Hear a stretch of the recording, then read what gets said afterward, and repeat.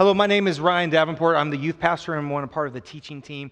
And it is such an honor and a privilege to be up here to be able to pour um, into you guys and be a vessel that pours into you. And I love, I've known about this topic for a while. I've kind of known where I was going. I was really excited about it. And, um, and I was just super charged to bring this message to you. And, and, like always, I think what, what the enemy likes to do, what Satan likes to do, is to absolutely throw a wrench into me during the week of. And usually, he, he maybe it's like he wants to see if I truly believe the words that I'm saying, but I do believe that sometimes I struggle. And this should have been a week of joy. Like, it really was. Like, I got to spend time with just me, my father in law, and my daughter on 4th of July to watch her at a three year old just experience fireworks to the moment that she can comprehend was just amazing and just the fact that she'd be like, Fireworks, I love you. Fireworks, I love you. And it was just this moment of joy. And then I had a, my nephew that was born on July, uh, on July 4th, too. And that was just such a joyous moment in our family. And it was just, it was a great moment. But I was struggling to be joyful in that moment. We come here on, th- on Friday night to do practice, and I love when our youth leads worship. I love their energy, and I was just a cranky Gus. I don't know what else you can say. Like everything just bothered me. I was frustrated at my sermon. Like I would look at my notes, and I would be like, ugh, this is so, I just don't feel this, and I don't know what's going on. And I went home, and I just was, I was frustrated. I was angry, and so I just closed the laptop. And I remember the video when I was searching for the video and in the line that said, Restore to me the joy of your salvation and grant me a willing spirit to sustain me. And that line kept running through my head, and I knew that I needed to find joy. So I put the laptop down and I just started looking for joy that day. Saturday was a better day, and I, I, looked for joy. And even though there was times the enemy tempted me to, to be frustrated, I remember to find the joy in what we are doing. There are many things on this earth that we believe give us joy slash happiness. Things that we may think that gives us joy is maybe our families, our jobs, money, health, sports, etc. We can name different things that we think that gives us joy. And for many of these, that the feeling of joy is not sustainable. Well, that's because in all of these things can cause us hurt and pain. For many of us, life can be hard, and there can be daily circumstances that seem to conspire us to rob us of our joy. And maybe that you're stuck in a job that you do not like or doesn't pay enough money to pay the bills. Maybe you're, in a, you're having a difficult period in your marriage or that you have a rough, strange relationship with a family member. Maybe that you're trying to follow Jesus, but the people in your life are not allowing you to commit and walk a life worthy of the calling. Maybe it's even basic health problems that makes even the simplest, most basic everyday activities difficult. And let's be real here for just a second. Maybe it's sports. Now, I'm a sports fan, and I have throughout my life allowed sports to dictate my happiness, to dictate where I'm going to be. And it's all of us. We put so much hope and joy. If so and so catches a touchdown on Saturday, it affects how we worship on Sunday. And we, and we live in this culture, and I think it's great that we can rally around some stuff, but we make it so about that sports brings us together. And yes, it's a great thing, but here's a secret about sports your team will eventually lose. My wife had to learn that early in our marriage when she came in. Like, I was a big San Francisco Giants fan. And when we got married, they won three World Series. And she's like, she expected this. And in one year, about 2019, she turns to me and she says, Why are they so bad? And it's the point is, is when we put hope into things of this world, it will fail us. They're not sustainable and they're not consistent. We live in a culture that determines joy and happiness on things that are not sustainable. And that is a false belief system that we have. In the midst of these realities, experiencing a constant, deep, long lasting joy can seem unattainable. I hear a lot of people that say, I'm not happy with my situation. And that's where I believe that word happy throws a wrench into our joyous life.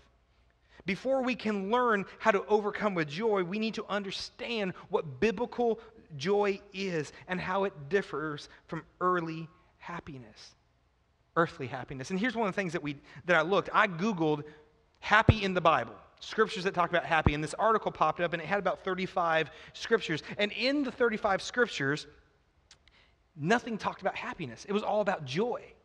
And even the author of this thing compared joy and happiness as interchangeable. And I don't believe that's true. I think if we look at the definitions between joy and happiness, we can see that. So we have to understand what that is. See, joy and happiness are wonderful feelings of, to experience, but they are very different. And our culture has come to a false belief sister, system that joy and happiness are the same, but they are very different. And don't get me wrong, it's okay to be happy, but it's important that we see the difference. So here's some definitions joy is a more consistent and is cultivated internally where happiness tends to be externally triggered and is based off other people, things, places, thoughts, and events. And I believe a good foundation of joy can bring happiness. And this will be important for us to understand as we go forward today. And through my short time on this earth and trying to walk this life worthy of a calling, I have found that the enemy tries to steal our joy in life. Most of you can agree he is a mastermind of playing mind games and using our situations to make the life that's worthy of the calling not worth it. But yet when I read the Bible, I repeatedly see themes that talks about experiencing a kind of joy that transcends our circumstances. If we go back to the worldly definition of happiness, happiness comes from our situation, comes from our circumstances. But yet, the theme that I see is a kind of joy that transcends our circumstances. I love the different words that you can use for transcends surpass, excels, exceeds, beats, trumps, tops, caps, outdo, outstripes, leaves behind, outrivals, outranks, outshines, eclipse, oversteps, overshadows, upstage our circumstances. A kind of joy that transcends our circumstances. The biggest question for us is how do I find that kind of joy? And the answer sometimes to all of us seems so hard, but yet it is here in the Word of God. And what we need to realize is our only joy is rooted and has a foundation in Christ Jesus. The only thing that is proven to be consistent and sustainable in life. Let me hear that again. Our joy is rooted and has a foundation in Christ Jesus, the only thing that is proven to be consistent and sustainable in life. We're going to bring up the working definition while we keep going of joy, because I think joy can continually be defined. And so we go to the next slide. Joy can be defined as a constant, cultivated internally, and confidently abiding in the vine of Jesus. It's knowing that all of our life comes from the vine, and it's knowing that all of it comes from the vine, but it's also that our future expectations that everything is going to be okay draws life from the vine of Jesus, no matter what our circumstances is. We see this in John chapter 15 verse 5. I am the vine, you are the branches. He who abides in me and I in him bears much fruit but for without me, you can do nothing.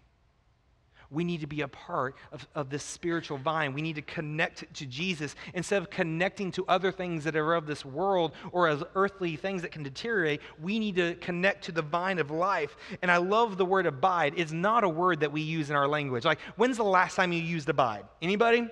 But it is a very important word. So I, I, I, Googled it and I love the definition to bear patiently. Another definition is to endure without yielding, to withstand. The intransitive verb is to remain stable or fixed in a state. We must stay stable and fixed in the vine of Jesus Christ. We must absolutely hold on to that. See, Jesus told his disciples that he wanted them to experience the fullness of his joy in their lives. We see that in John 14, 11, John 16, 24, and later we will go into John 17, 13. But as Jesus knew that the hard times were awaiting his disciples, and they needed to understand the fullness of joy that was inside him. See, my thought is to believe that, that there was joy that was just abundant in Jesus, and he had unbreakable joy, although he knew he knew what was coming at the end because he knew the power of God's grace and mercy. And when we think about his fleshy side, I bet he was there was a fear and there was probably a moment of this is going to hurt, but yet he had such a joy that transcended him that he knew that when he went upon that cross, death was defeated. He knew that victory was coming. He knew that you and I were going to be saved through him. And he found joy in that moment. And throughout the rest of the New Testament, we keep seeing the theme of that joy that transcends our circumstances. We see it all the time, and we, and we continue to see it with, with Paul, the champion of joy. We see it in James, we see it in Peter, we see it in Hebrews, we see it throughout the whole New Testament. That is one of the biggest lessons that we can learn is that Jesus, because Jesus laid the expectation down early to have joy. I'm coming, we see in, in John 17, 13, I'm coming for you now, but I say these things while I'm still in this world so that they may have the full measure of my joy within them. Once again, this joy that Jesus had when he was going upon that cross this joy of people's lives that were going to be changed that once again that death was going to be defeated and out of all the books of the bible among the most joyous are the prison letters that Paul wrote.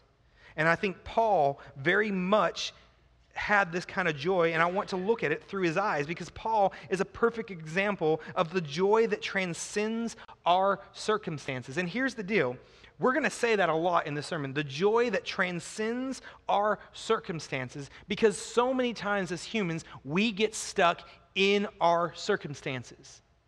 And we don't allow to see the joy of what is God is doing in our lives. And we see that more with Paul when he wrote these letters while he was enduring his imprisonment in Rome. The books of Ephesians and Philippians and Colossians and Philemon are all books that he was writing while he was imprisoned in Rome. Now, you think at this point of Paul's journey, he would be the one that needed to be encouraged. But it was so cool is he was the one that was giving the encouragement. And here's a quick side note about studying the Bible. It's something that I, I, always want to explain. You have to understand the context of what you're reading. When you read a book like Philippians that's full of joy, you need to understand where Paul was writing from, because he was writing from imprisonment. But yet he had so much joy as we see that the whole book of Philippians is saturated with joy. 16 times over four short chapters, Paul uses the word rejoice or joy to describe the state of mind or the general attitude that we should have as Christians. As he writes this joy soaked letter in the midst of his own difficult circumstances. See, let's look at He was under a house arrest that he was paying for under his own pocket. He was, uh, he was chained to a Roman soldier every three hours. Uh, he, on top of that, three years ago, three years before that, he spent prison, uh, time in prison in Caesarea. So by the time that Paul wrote Philippians, he had been in Roman custody for several years. But yet, rather to allow his circumstances to drive him to despair, he experiences deep joy and pleaded with the Philippians to share in his joy. This is the man that when he was in prison worshiped God and sang. This was the man when he was in prison brought his jailer to Jesus. This was the man when he was in prison wrote letters to others. Don't worry about me. I need you to take this joy, this joy of the final end game that Jesus has won and share it with the world. What I love about Paul is even this. Paul refers to his intense suffering as a light affliction compared with the far more exceeding and external weight of glory that waits God's servants at the resurrection. And we see that theme in 2 Corinthians chapter 4, 17, and also in Romans 8, 18. What a great attitude to have. But how did Paul get here? Before God called him, Paul was a hard hearted, angry, persecuting, Christian killing kind of person. But after his conversion, he was transformed into a loving and joyous person, partly because he understood the magnificent generosity of God's grace and mercy. Let's take a moment to look in his shoes. After his conversion, he was truly understanding this mercy and this grace. A grace is a gift that he did not deserve. Mercy, mercy was shown to him instead of punishment. For anyone that reads about Paul, we think that he is the one that does not deserve the mercy and the grace of God. The man was killing Christians, but yet God showed him mercy and grace. And I believe that Paul truly let go in this moment and allowed it to saturate his life and change him. Paul let God take the past from him and allowed himself to fully be renewed. And I think many times where we fall short is we don't truly allow God to take our past from us and let us truly be renewed. Paul did not want to live in that life. He did not want to be that angry, persecuting Christian kind of dude. He wanted to be fully immersed in the mercy and grace and the love of Jesus. Paul had a joy that could overcome anything because he knew the magnitude of the grace and mercy of God. He knew that Jesus had already defeated death and that we needed to run this race to the finish so the good news of his good grace can be shared with everyone. Paul did not let his personal circumstances affect how he lived this life worthy of the calling. We see Paul's joy in Christ was in everything that he did. Paul wrote in Philippians chapter 4, 11, I have learned in whatever state I'm in to be content. And for joy to be sustainable in us, contentment is a large part of joy. But contentment is not a word that we're very good at. We can be very impatient and we cannot be content. So I wanted to dig deeper and look at the definition of contentment, and that is the quality or state of being contented. Now, that is actually a word. My wife challenged me on that, and we made sure that that's what Webster's dictionary said. And so I looked at the definition of contented, and that is feeling or showing satisfaction of one's possession, status, or situation.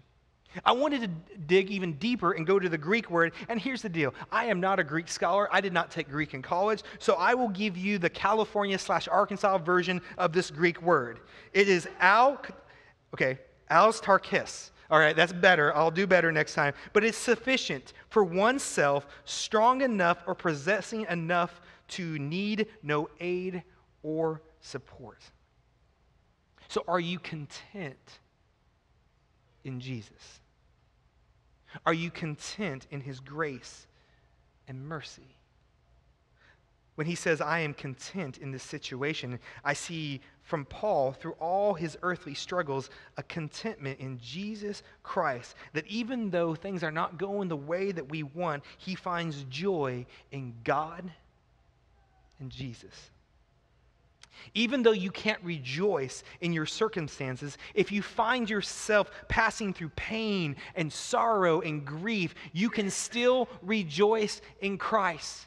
We can still rejoice in the Lord, and since He has never, He never leaves us and He will never forsake us, we can rejoice always. And again, I say, rejoice. So what? No wonder that Paul instructs us to rejoice in the Lord always. And again, I say, rejoice. Not to focus on our circumstances, but to focus our minds on the beauty and the glory of who Jesus is and what he has done for us. And allowing God to stir our hearts with a joy that can transcend our circumstances. This is what I know that our circumstances can change constantly. But because of Hebrews chapter 13, 8, that I know that Jesus is the same yesterday, today, and forever. So when we seek joy in Him, we will never be disappointed. But unlike our circumstances, Jesus never changes. In Psalms 19:8, David writes, the precepts of the Lord are right, giving joy to the heart. God's precepts are his directives that he gives us in the Bible that lead to joy, at least in two ways. First, God's way is right, which means he knows what, he, what he's doing. He knows what's best for you, so trust him. Listen to his commandments. Live this life worthy of the calling. Once again, he knows what he is doing. Second, the scripture leads to joy that points us to a God, once again, say it with me, who transcends our circumstances and who promises to be with us in the midst of difficulties. Jesus gives us the greatest, once again, the greatest example of joy in the spite of his circumstance. Hebrews chapter 12, 1 through 3 says it in such a beautiful way. Therefore, since we are surrounded by such a great uh, cloud of witnesses, let us throw off everything that hinders, the sin that so easily entangles us, and let us run with perseverance the race that is marked out for us. Fix your eyes on Jesus, the pioneer and perfecter of faith for the joy set before him, endured the cross, scorning its shame, and sat down at the right hand and the throne of God.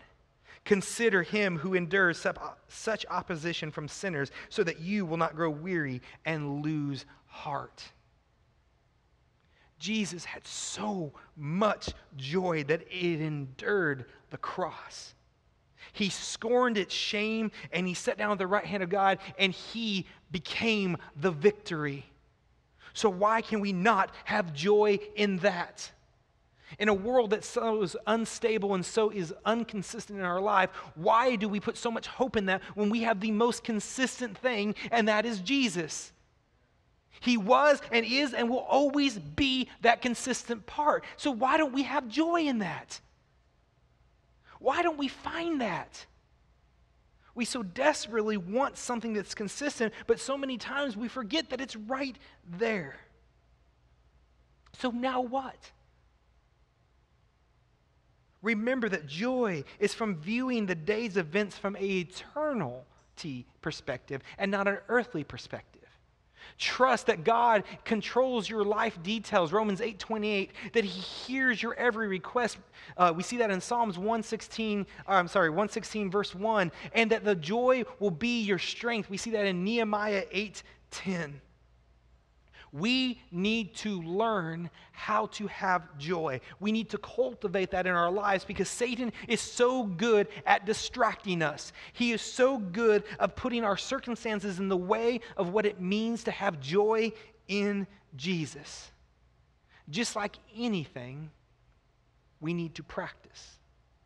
We need to practice what we preach, and we need to have these steps. And so I did some research, um, found some things online, did some things that I thought of. But here are seven practical ways for us to increase joy in our lives.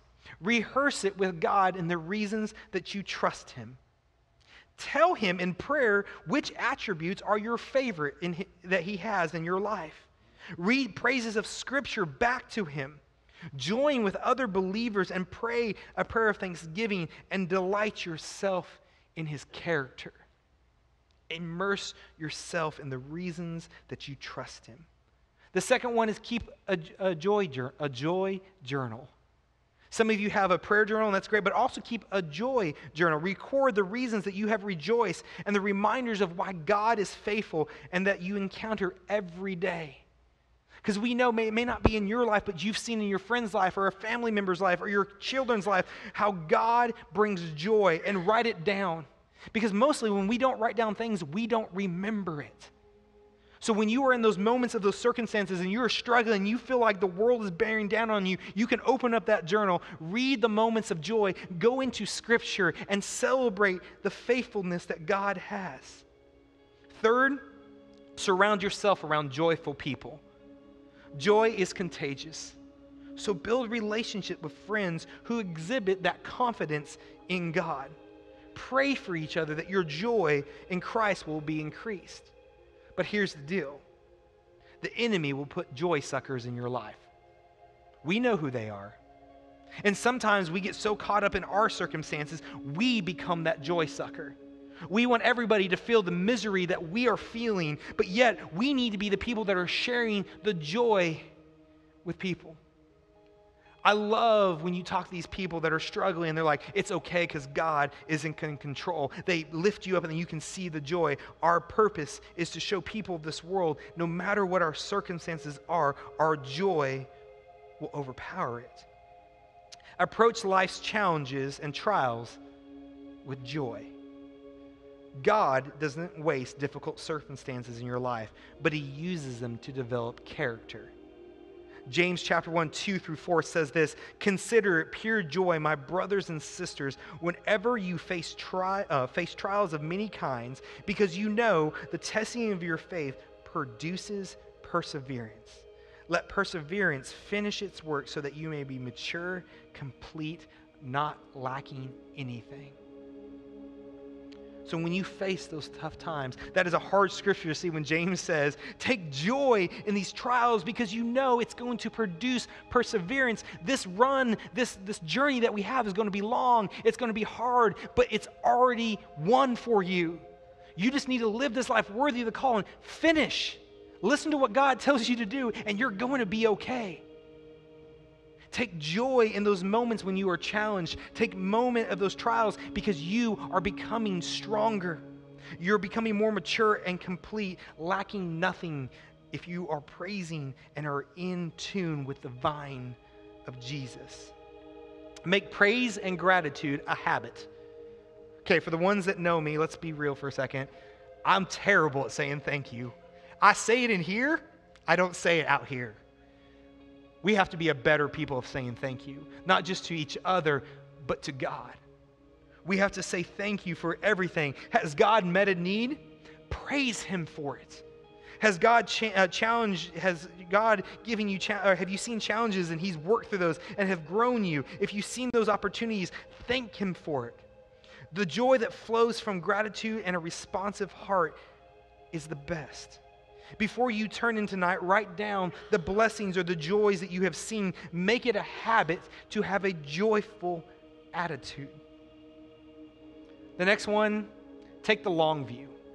You know, I'm kind of looking at finances right now, and I've talked to a couple of my friends that are investors, and, you know, the one thing that I always hear is don't worry about the daily ups and downs of your funds in the stock market. Don't even look at it. I got you, I'll take care of it.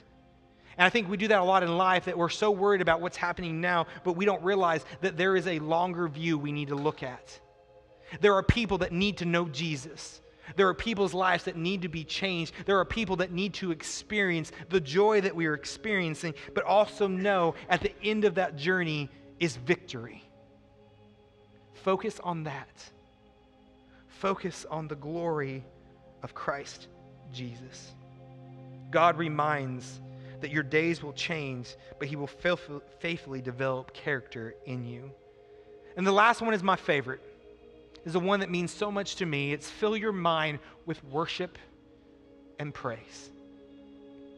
I have found myself in the darkest of times, in the deepest of times, going to worship and praise.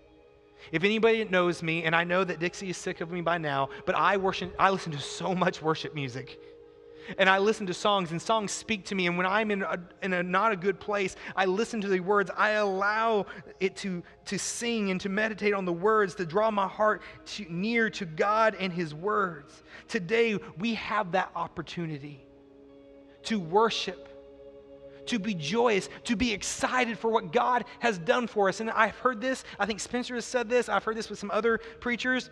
We go crazy when somebody hits a home run or scores a touchdown, but yet we show no joy when Jesus shows up in our lives. I mean, i am going to rat on myself. I chest bumped the wall once because I had nobody to celebrate when I won the world, when my team won the World Series. But when God shows up in my life, what do I do? Does my joy transcend my circumstances? We need to be there. And we have an opportunity today to sing and to praise and to worship Him. We have a moment of communion that we do every Sunday, and I love it. It's an intimate and beautiful moment where we have groups that come together. People go off by themselves, but it is a moment that we can share in the joy of what Jesus did for us.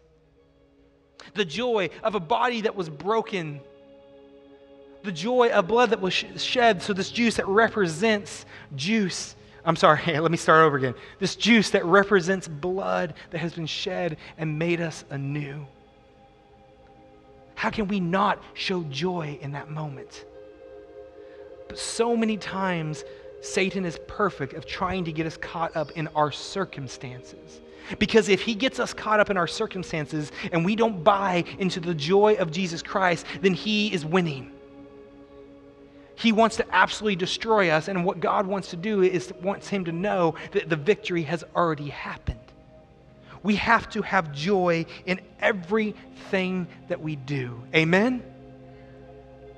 We have to let it absolutely seek from everything that we do, everything that we say. People need to know that we have a joy that what? Transcends our circumstances.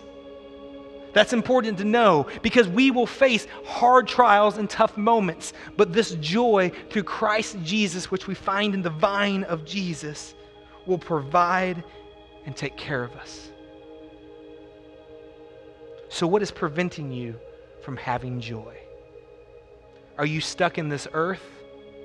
Are you stuck in this world? Or are you fully committed to living this life worthy of the calling? Paul did not live in the past. He lived in the joy and the victory of what Christ has done in his life. So may you live with that victory. May you live with that joy. And may we come and worship and sing and praise him with all of our heart and all of our soul. Amen. So let us have a time of worship, a time of communion. We have stations around, but let us worship. Let us do it with joy. And let's walk out those, those doors with a joy that is so contagious that when people see us, they go, There's something different about that person. I want to know. And then we have an opportunity to share Christ Jesus. Let us pray. Father God, I thank you for who you are and who you will always be. God, as we come here and we submit ourselves to you, God, we submit ourselves to the most sustainable and most beautiful thing that we have in our life. God, I pray for everyone in this room that is struggling with their personal circumstances, that they will realize that you have already won the victory, that you will provide, that you will help them, you will pull them out of that moment, that you will always be there for them. God, I pray for ones in this room that need to reestablish to the vine of Jesus. God, I'm calling that there is revival today in this room. I call for these people that have, have become joy suckers, that they will reattach themselves to the vine of Jesus and they will be filled with your joy. They will be filled with your Holy Spirit and they will truly buy into this process. So, God, I pray for a revival of joy, a revival of commitment. God, let us worship you with all of our heart and all of our soul and all of our mind. And let's declare that we are thankful for Jesus going upon that cross and dying so that we may have life. So, Father, thank you. Thank you for what you have done in each and every one of our lives. Thank you for what you are going to do. Thank you for the thousands, the millions, the billions that will know your name. And we thank you for loving us so much. In Jesus' name we pray. Amen.